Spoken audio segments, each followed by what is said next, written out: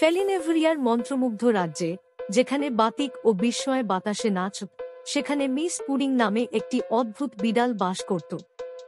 Miss pudding কোন সাধারণ বিড়ালই ছিল না, তিনি অদ্ভুত আনুষাঙ্গিক জন্য একটি ঝোঁক সঙ্গে একটি মোটা এবং ফ্লাফি বিড়াল ছিল।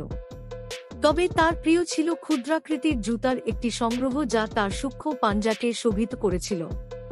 প্রতি জোড়া জুতাই ছিল এক বিস্মাছোট এমব্রয়ডারি করা মাস্টারপিস যা সিকুইন দিয়ে ঝলমল করে এবং মিস পুডিংয়ের প্রতিটি পদক্ষেপের সাথে ঝলমল করে। মোটা বিড়াল রাস্তা দিয়ে হেঁটে চলার সময় শহরের লোকেরা হাসতে পারল না। তার জুতার ক্ল্যাক তার আনন্দময় আচরণের সাথে সামঞ্জস্যপূর্ণ। এদিকে বিচিত্র শহর ছাড়িয়ে রানী ইসাবেলা একটি বিশাল এবং জাঁকজমকপূর্ণ রাজ্যে রাজত্ব করেছিলেন।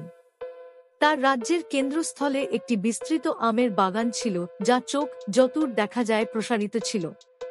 সোনালী ফলের ভারী আম গাছগুলো এক মনোরম প্রাকৃতিক দৃশ্য এঁকেছে, যা দূর দূরান্ত থেকে দর্শকদের আকর্ষণ করে। এক রৌদ্রোজ্জ্বল দিনে, মিস পুডিংয়ের ফ্যাশনেবল শোষণের কথা রানীর কানে পৌঁছেছিল। জুতা সহ একটি মোটা বিড়ালের ধারণায় আগ্রহী হয়ে রানী ইসাবেলা মিস পুডিংকে বিশাল প্রাসাদ এবং বিখ্যাত আম বাগান দেখার জন্য একটি রাজকীয় আমন্ত্রণ জানান।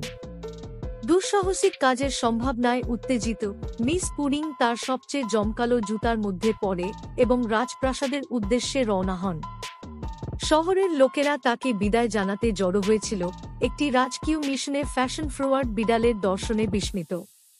প্রাসাদে পৌঁছানোর পর, মিস পুডিংকে স্বাগত জানালেন রানী নিজেই যিনি রাজকীয় জাঁকজমকে সজ্জিত ছিলেন। দুজন অবিলম্বে ক্লিক করেন, অসাধারণের জন্য তাদের ভাগ করা ভালোবাসার বন্ধনে। বিডালের আড়ম্বরপূর্ণ পাদুকা দেখে রানী মুগ্ধ হয়ে মিস পুডিংকে তার মূল্যবান আম বাগানে ঘুরে দেখার সিদ্ধান্ত নেন।